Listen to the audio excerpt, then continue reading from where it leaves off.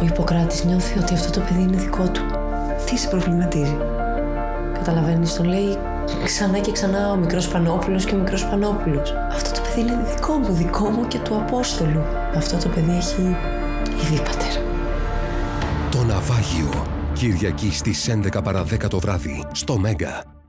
Τώρα έχουμε όλη την